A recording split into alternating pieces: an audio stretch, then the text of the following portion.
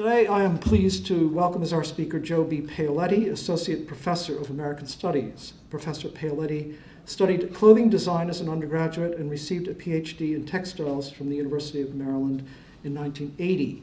She has taught at the University of Maryland since, and I have a blank here because I meant to ask you before.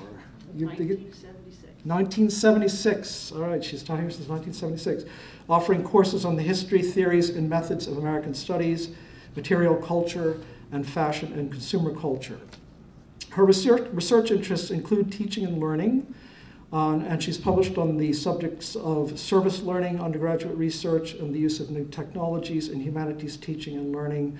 Uh, and she is a founding member of the International Society for the Scholarship of Teaching and Learning. Her other major research area, or at least one of her other major research areas, uh, is the history of children's clothing in America, an interest that resulted in the book she is going to talk about today. Pink and Blue, Telling the Boys from the Girls in America, was published last year by Indiana University Press. Professor Paoletti notes that her study began with a simple but intriguing question. When did we start dressing girls in pink and boys in blue? I'm noticing I'm wearing a blue shirt here today. Uh, to try to answer that question, she has looked at uh, advertisements, catalogs, dolls, baby books, blogs, and discussion forums, and a variety of other popular media to examine the surprising shifts in attitudes toward color as a mark of gender in American uh, children's culture, uh, clothing. Please join me in welcoming Professor Paoletti. Thank you, Eric.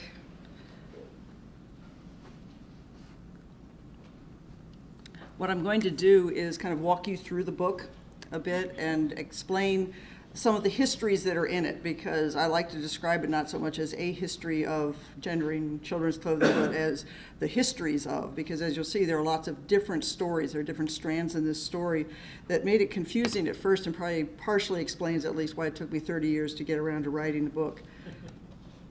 And hopefully the book is less confusing than the original process was.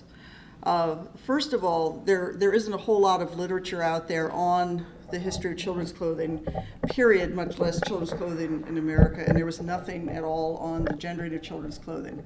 So that there had to be a whole lot of just descriptive research that was done at the beginning. Uh, I've got to say that if you like looking at pictures of clothing and looking at children's clothing, that can be fun, but after a while it gets a little bit tedious. You're looking at lots and lots of images and trying to figure out what am, not only what am I seeing, but what did someone see when they looked at this 100 years ago.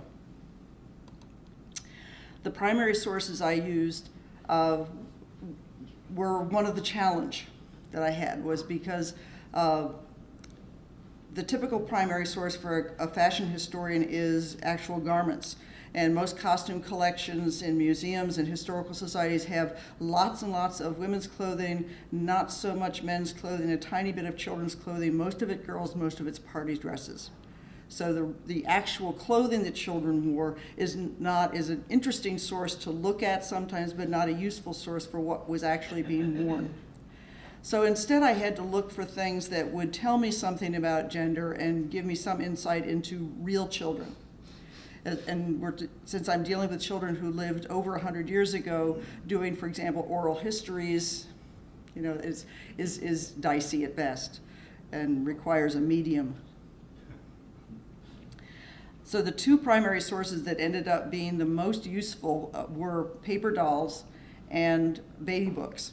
Now, paper dolls, they're not as popular today as they used to be, but for a long time they were really, really popular toy for, for children, and they're still a popular collectible for adults. And there are several really great collections of paper dolls on the East Coast. I was fortunate to be able to get to the Winterthur Library in Delaware and the Strong Museum of Play in Rochester, which is well worth a trip to Rochester if you can think an entire giant museum all devoted to toys and play and the Indianapolis Children's Museum is also a great source. What I liked about these and what drew me to them is the fact that one of the really common ways of having paper dolls arranged was to have a brother sister set. So you had twins that were brother and sister, and what better way to look at what the girl and boy version of a particular style was because they would put them in brother sister outfits. Uh, the ones you see here, just for example, these are, are from the late 1920s, and it's the um, Peter and Polly twins. So one's a girl one's a boy. So in looking at that, besides the girl having the rosier cheeks and the more coquettish pose, uh, there's not a whole lot other than that. They both have short blonde curly hair and they're both wearing sunsuits. The girl's in blue, the boy's in yellow. And the whole book had this sort of outfit where you had the boy and girl version. So this was one of the primary sources I relied on. The other one I fell, just fell over. I happened to meet somebody at a, a professional meeting who said, oh, did you know that the UCLA Biomedical Library, a place I often hang out at as a historian of fashion is biomedical libraries, has just acquired a collection of 1,300 baby books. And I said, wow, that would be really great because a baby book is like the scrapbook of a baby's life. Um, more often done for the firstborn than the secondborn, but still, it's the sort of thing that obsessive mothers in the late 19th and 20th century have created with snippets of hair and baby announcements and baby cards. And I knew, just having looked at a few myself, very often lists of gifts because this was where you would record every present the newborn got or that you got at a baby shower so you could write the thank you notes later. And they would be descriptive enough so you'd remember that you know, Aunt Martha gave you the pink dress so that you'd say, thank you very much for the nice pink dress. So there'd be a descriptive lists as well. Well, these turned out to be a real gold mine. I went there uh, on a traveling fellowship and spent a week there looking at about 800 of the 1,300 baby books, because that's how many actually had things written in them and, and, enough material in them. And they were all sorts of things. The first book I opened up had two little scraps of chambray, which is the kind of fabric probably that Eric's blue shirt is made out of. Uh, but it's a, a, a, light fabric, usually pastel, because it's white threads in one direction and colored threads in the next.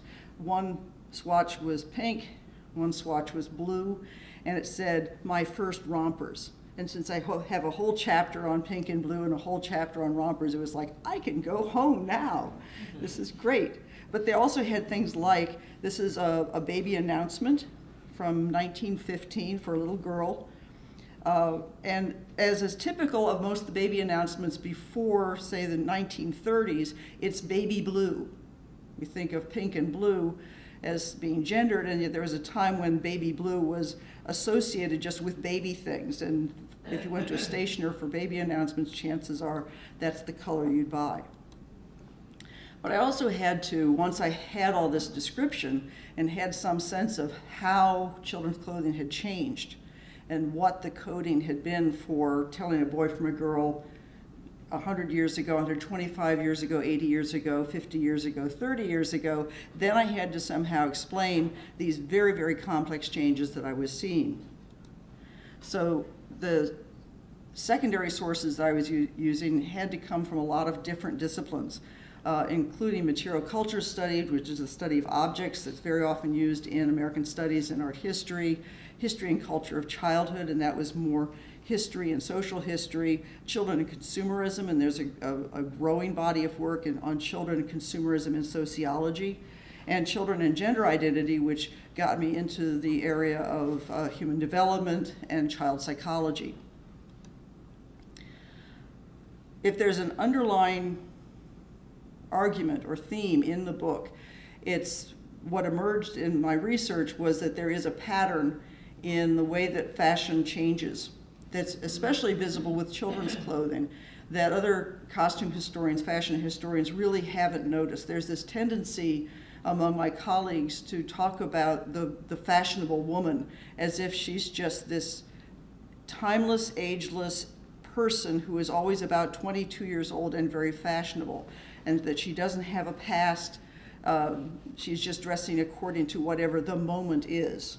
And it's, it's kind of a flaw in the, the historiography of, of fashion, but it's been that way for quite a while now, and I keep trying to, to rail against it.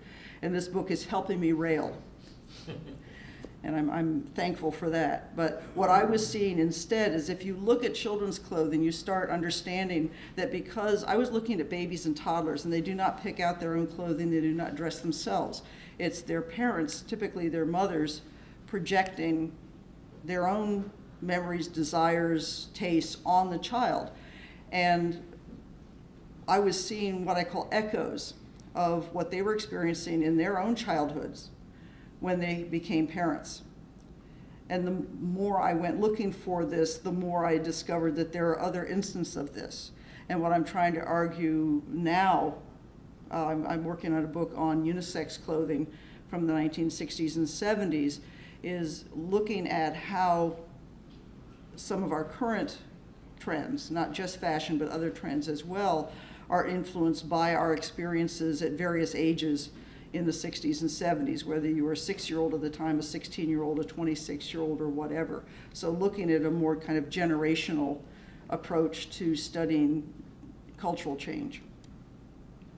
Now, I'm going to be talking about several of the chapters in the book because each one of them is a separate history. The main idea in the Dresses for Girls and Boys chapter is looking at the history of what used to be the standard uh, ungendered unisex, whatever you want to call it, outfit for a baby and throughout the 19th century, and actually toddlers as well, right up to the age of about four or five, which was a white dress. Now, many people, when they see those white dresses, they think that it's a, a christening dress, but it's, it's actually everybody wore white dresses. For christening, you might wear an extra fancy one, but you didn't have a special dress that was white, and that was the only white dress you owned. One of the things that really struck me about this tradition of dressing babies and toddlers all alike in white dresses was that it did not bother people at the end of the 19th and early 20th century at all that you couldn't tell the boys from the girls. Whereas today, those of you who have younger brothers and sisters or, chil- or, or children of your own or nieces and nephews, you know that people care very much if you can tell the boys from the girls that is your obligation when you go out with your child that every stranger should be able to tell at a glance what, what sex your child is. Whereas in 1905, the Mellin's Baby Food Company could actually have uh, a contest featuring 20 pictures of babies, and you had to pick, decide, tell which one was the boy and which was the girl. And they were going to. This was done at the uh, the St. Louis World's Fair, and so there were like hundreds of people who took this quiz, and they were going to give a $250 in gold to the person who could correctly guess the boys and the girls. No one got all 20 correct. The person who got the $250 uh, got 18 out of 20. By the way, I replicated this last year, Maryland Day, and the best we could do, I think I, we, we started off with offering them some kind of prize if they got 18 out of 20, because I figured hey, people in 1905 could do that. We lowered it throughout the day to the point where finally we were giving out our little prizes to people that got 13 out of 20. Because the stark truth is, if you take babies under about the age of two and put them in all identical clothing with no gender signifiers, you can't tell the boys from the girls. Again, something maybe we find a little bit uncomfortable. Uh, people in 1905 thought was pretty funny. So that a lot of the pictures you see have these babies and young children in white baby dresses.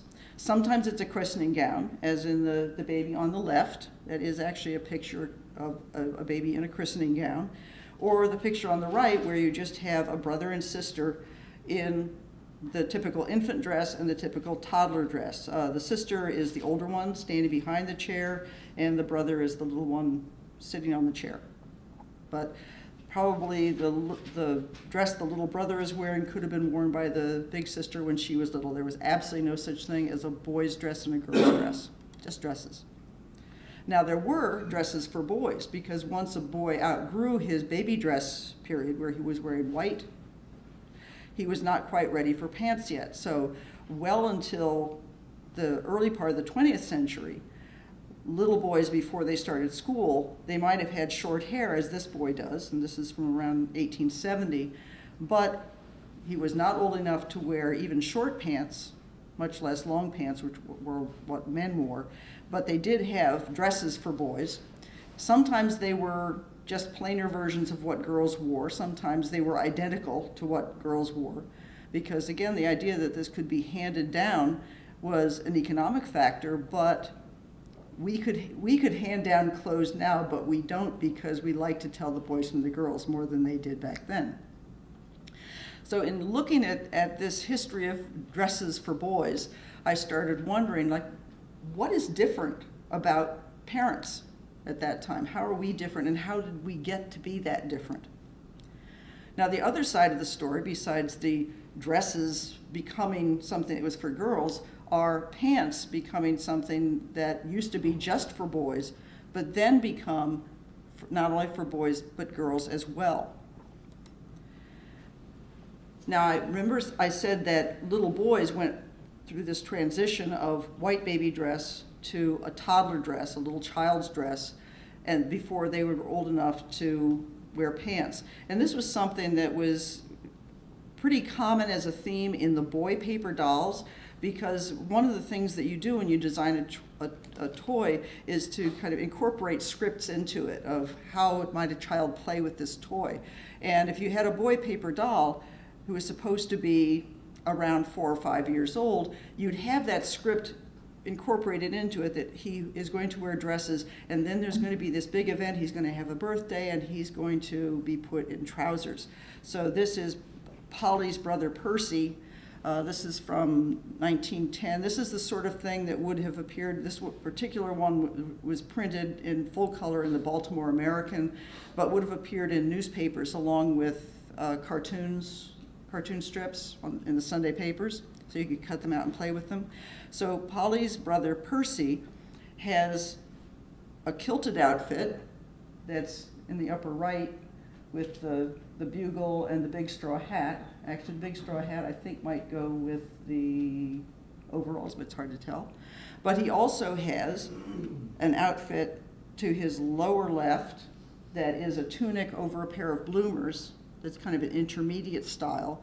And then he also has several outfits that have pants. So when you play with Polly's brother Percy, you can take him through these stages from dress to tunic outfits with bloomers to real pants. At about this same time that you have pants being this really masculine garment that little boys attain when they go off to school or when they're about, again, five or six years old, you have the introduction of rompers.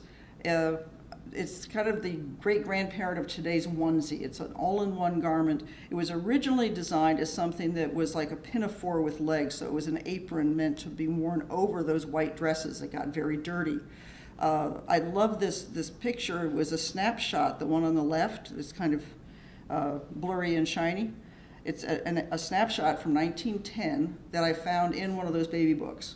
It's the other thing I love about those baby books and it's of a little girl named Hope Jewett, um, who is just learning to walk, and she's holding herself up on a chair, and she is wearing a romper. Now she's wearing the early type that is buttoned up the back and worn over that white baby dress, which you can practically see through the romper. And you can also see that kind of padded effect that it gives the romper goes from being this utilitarian apron garment to a play garment for children, both boys and girls, fairly rapidly. The baby on the right is a little boy from the 1920s wearing the, the romper that is now just a garment. It's worn over underwear or a diaper um, rather than this, this voluminous apron sort of thing. Rompers become very popular very, very quickly. There is absolutely no discussion in the parental literature about whether or not this is an appropriate thing for little girls to wear, despite the fact that once upon a time women were not allowed to wear pants. Little girls didn't wear pants, only men wore pants, and that that was still a fairly contentious issue in the, the early part of the 20th century. Women and older girls did wear, uh, say, bloomers for gymnasium. They could wear trousered outfits in certain situations, usually only with people they knew really well or other women around, like in a gym class or something like that. By the 1920s and 30s, play clothes for girls were as likely to have pants or shorts as be little dresses, and even the little dresses would have bloomers underneath them. And again, it, it's interesting to me that it happens in this completely uncontroversial way. one of the stories that starts emerging as I looked at this is that it isn't kind of this equal gendering, boys become more masculine, girls become more feminine, their clothing. What happens is a lot of the things that used to be just baby clothes become redefined as feminine and are rejected then or, or not used for boys. So I have this chapter that's called A Boy is Not a Girl, because a lot of what you see happening in the early part of the 20th century in terms of the masculinization of little boys is redefining them as being masculine earlier and also that masculinity is basically not femininity, that a, a boy is an ungirl or a non-girl. And this is, this is where it begins. Uh, there's a book published in the 1880s uh, that becomes a play that goes all over the world and all over the country and becomes this craze called Little Lord Fauntleroy. Now, the actual Little Lord Fauntleroy from the book is not a prissy little spoiled kid. He is, if you've ever read the book, it's written by the same author, Frances Hodgson Burnett, who wrote uh, The Secret Garden and The Little Princess. She's a very popular children's author at the time. And Little Lord Fauntleroy was typical of her characters in that he's this little pure-hearted boy who redeems the adults in his life because he is, in many ways, such a little gentleman. But he's not prissy and he's not a sissy. However, he was wearing what was fashionable at the time the book was written. In fact, the, the illustrations for the book and the costumes of the play were all based on uh, what Frances Hodgson Burnett's sons wore, which had already been in fashion at the time, without again without controversy or, or remark. That was a what was called a, a, cavalier suit. Little boys' outfits, once they went into trousers and they weren't wearing dresses anymore, they still weren't allowed to be little men because the idea was that you became more masculine as you got older. And the older you got, the more masculine your clothing was. So that putting a six or seven year old boy in an outfit that made him look like Romeo or a little Scotsman or a 17th century cavalier like the Three Musketeers was part of fashion at the time. So the Little Fauntleroy suit, which derives from this cavalier outfit, um, it just you can buy them in, in, Sears catalogs and Montgomery Ward's catalogs. You can rent them and have your kid's picture taken in them just for the moment. Uh, and so there probably wasn't a middle class boy in America that at some point wasn't tormented either by the reality or the promise, the threat of a Little Lord Fauntleroy suit. And of course, then they'd take his picture and it would stay there forever on the mantle. So these are all different versions of this little Lord Fauntleroy suit, very often not just the, the uh, little cavalier suit with the lace collar and the lace trim, but also because it was believed in the 19th century that cutting a child's hair would make it coarse. They would let their hair grow really, really long and, and curl it into these love locks. Again, if you think about what the Three Musketeers looked like, the 17th century heroes, that's the effect they're going for. So this is Little Lord Fauntleroy.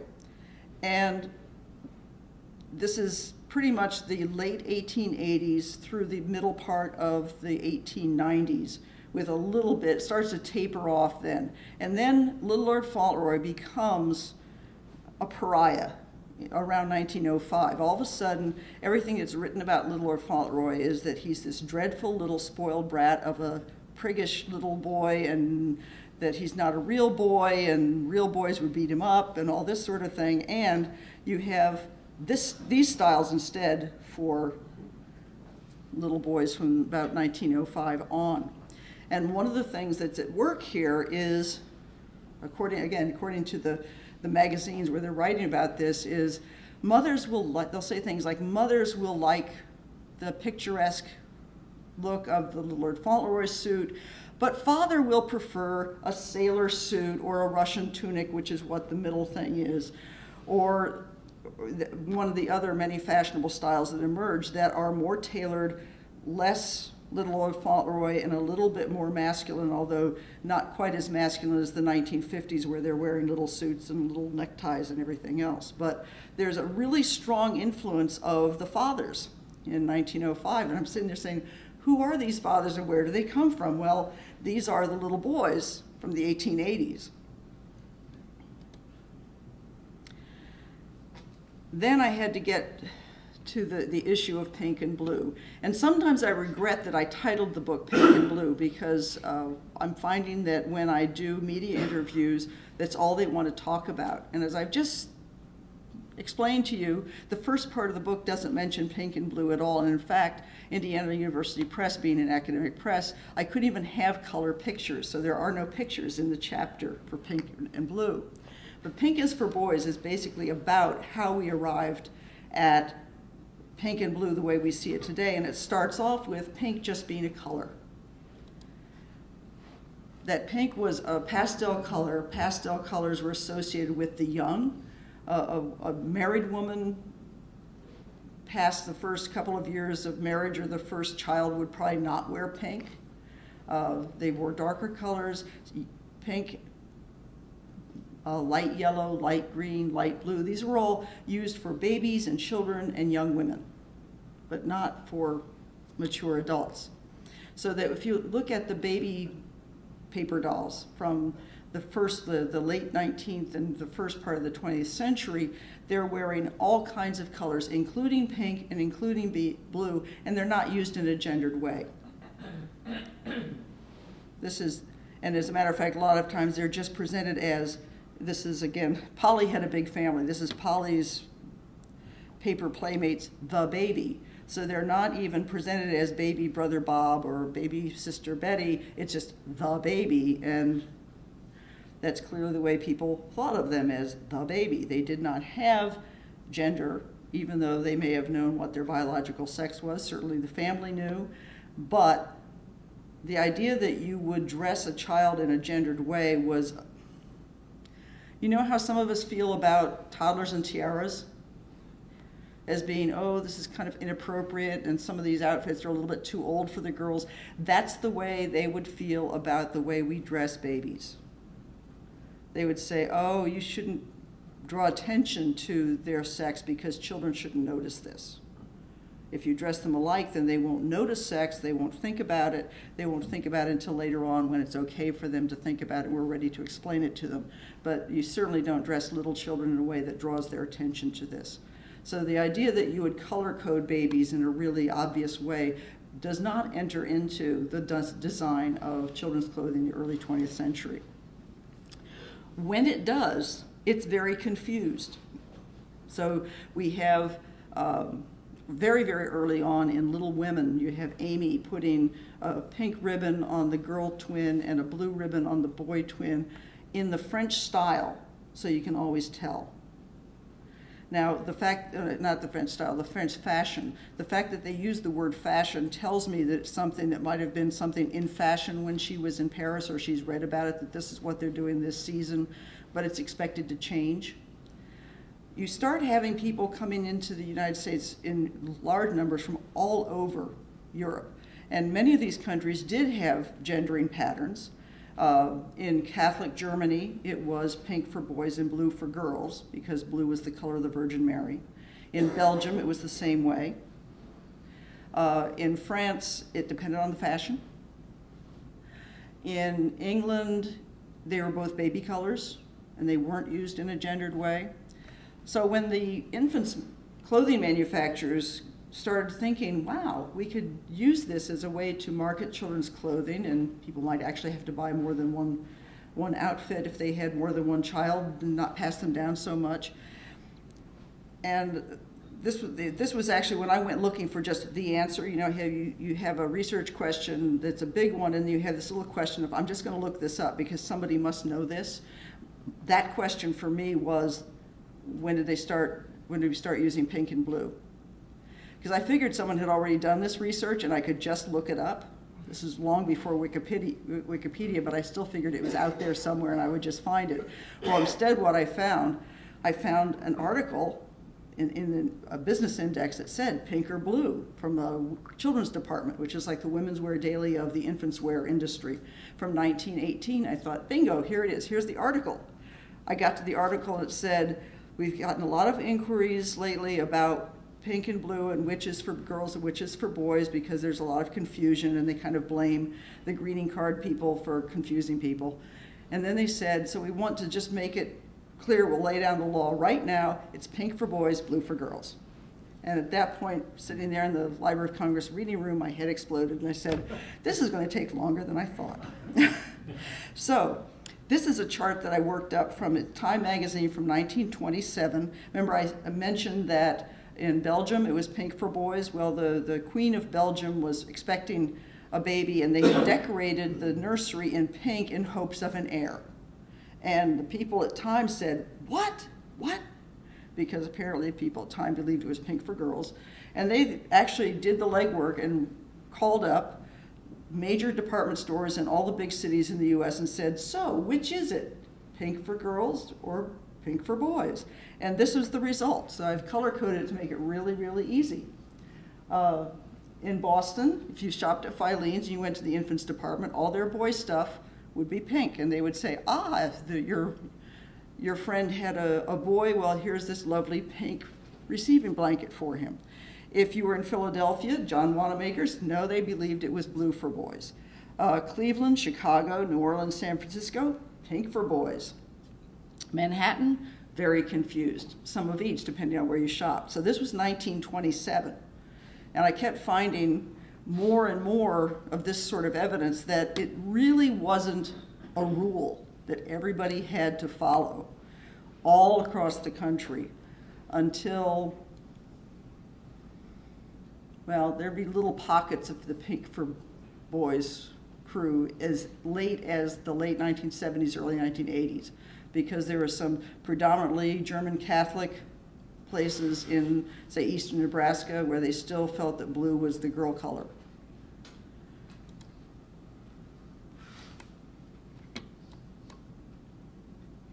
I don't know why this is all of a sudden decided it's not going to. There we go. And I kept finding examples of boys wearing pink. Pink was a really common color for little boys' spring suits, like if what you dress the boy up for Easter, you go out and get a pink linen suit. 1953. You know, anybody know who this is? Who the character is? It's, it's the littlest boy, it's, it's Michael from Peter Pan, it's the little brother. And I hadn't even remembered that he wore pink pajamas all the way through the whole movie. Until somebody reminded me, and then I went and looked, and sure enough, there he is, 1953. He was wearing pink, and nobody went and ran off and complained to Fox News that he was wearing pink. However, this is the re release of Peter Pan, just out this year. And if you notice, there's Michael at the very end and they've recolored him. So he's wearing blue now. But Wendy's wearing blue too. Ah, well, see, that's why pink and blue are not equivalents. Pink is, uh, somebody came up with this great word, and I wish I had invented it. They said pink is the spokes, spokes color for femininity. And I said, yes, that's what I've been trying to say all this time. Pink is the spokes color for femininity, but blue is not the spokes color for masculinity because girls can wear blue as long as they're wearing something that's very feminine. Matter of fact, I would say that pink, it's like rock, paper, scissors, like pink is stronger than skulls because if you have a pink outfit with skulls, it's for a girl, right? Now, I have a whole chapter in the book on unisex clothing because I kept thinking, well, what happened? There's this kind of weird period in the 60s and 70s, which admittedly is a weird period anyway, but there it is, where all of a sudden they're going back to let's dress children in a neutral way. So here we have two different patterns from the late 60s and early 70s. Uh, the one on the left is actually a, a outfit for boys. If you look, kind of have to look sideways above the 4299, that's the number for the pattern, it says boy size 2. This is an overall with a little uh, stand-up collar shirt or a turn-down collar shirt for a boy's dressy outfit. And then you have the one on the right from 1971, I think, um, that is identical outfits for boys and girls. And this is when I when my nieces were young. They were born in like 68 and 70, this is what I knew. Uh, and watching Sesame Street at the time with them, it's like boys and girls all dressing alike. So when I had a, a, a, child in 82, I continued to do that. When I had the boy in 86, I couldn't do it anymore because the market had changed. As all of a sudden, in the mid 80s, there was a huge shift. Pampers and Luvs came out with pink and blue disposable diapers. They started making those little headbands for little girls. Uh, pink returns with a vengeance. There's not a whole lot of pink clothing at all for girls of any age in the 1970s. You could still get neutral clothes. This is from, I think it's Bio Bottoms from the early 90s. Um, kind of utility, you just basic jeans and pull-on pants and polo shirts that were designed to be worn by either boys or girls into the early 90s. But at the same time, starting with the babies, and this is why I don't think it's the kids making this change, it's the parents. Um, you have things like this is from a, a baby clothing catalog. Gift tip it's a girl, it's a boy, so you know what to do. Be unashamedly generous with pink and blue. Later, she can wear jeans and play hockey. Later, he can make play pies if he wants to. For now, they're completely and utterly babies relax, resist sophistication, and enjoy the babyest things in the world. So this idea that dressing boys and girls in gendered ways is kind of traditional, uh, harmless, kind of unsophisticated. You know, it's the, the pure way to dress them. Oh, there's so much there. Uh, it's, it's kind of uh, third wave feminism making its first little lappings on the beach. So let's talk about this. Uh, I'm still working on this because now that I'm working on the unisex book, uh, I'm incorporating some of the things with babies and toddlers that's in the pink and blue book, but it's allowing me to look at teenagers' clothing and older children and adults at the same time and think about where our ideas about gendering come from and how traditional they really are and why it seems to be so important that we mm-hmm. think of them as traditional and whether pink and blue is with us forever and ever. I say probably not because nothing is. Thank you.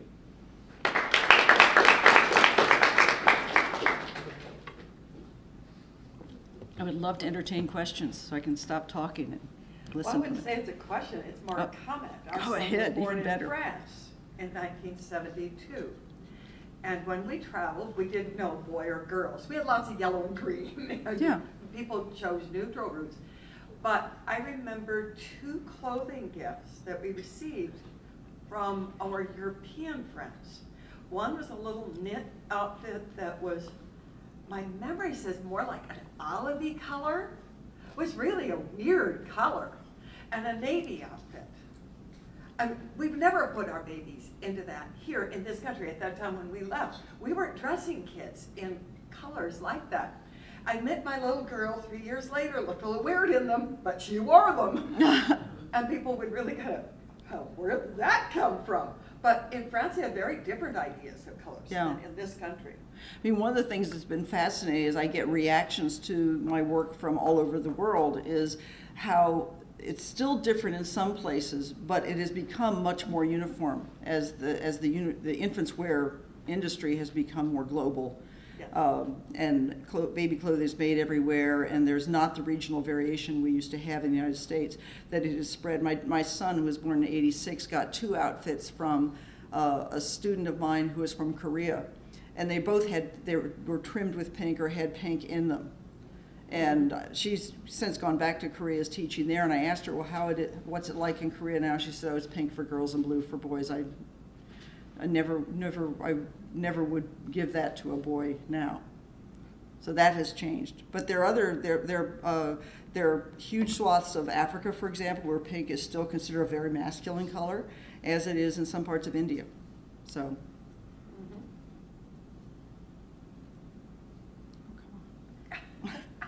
Yes, Denny. Yeah, Okay, so I'm not uh, a a master of any of this, and it's very, very interesting uh, talk and and background, but I'm just thinking in terms of colors.